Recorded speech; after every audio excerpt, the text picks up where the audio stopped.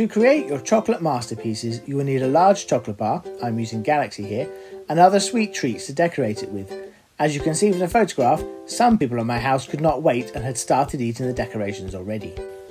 Next, find a microwavable bowl, spatulas, chopping boards or plates, and tinfoil. I also decided to try using dinosaur and duck moulds to make extra mini chocolates. Cover your chopping boards or plates in tinfoil. These are what you're going to be making your chocolates on. Break up and microwave the large chocolate bar until it's been fully melted. Keep checking on it and give it a stir regularly or it will burn. Pour the chocolate onto the tinfoil and smooth into roundish blobs. Cover the chocolate blobs with your decorations. Add as much decoration as you want, but make sure it all stays on the blob.